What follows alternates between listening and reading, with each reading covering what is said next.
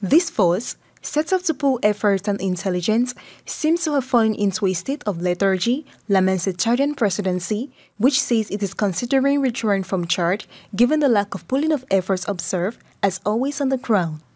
This press release comes after a week in which President Mahamat Idriss Déby Itno has been on the ground coordinating the so-called Haskanite operation launched after the death of some 40 Chadian soldiers in a jihadist attack. He promised to pursue the attacks to the end. The Chadian presidency spoke of strengthening intelligence, logistics, mobility, and communications resources to launch an appropriate response. N'Djamena regularly complains about the lethargy of its neighbors in the face of two Boko Haram groups' crises crossing the region.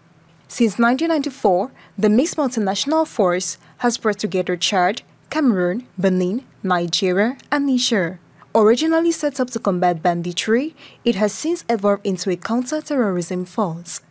A few months ago, it highlighted the successes of an operation, Lake Sanity 2, to which Chad had been a major contribution. Notably, following the July 2023 coup d'etat, Niger stopped participating in the FMM.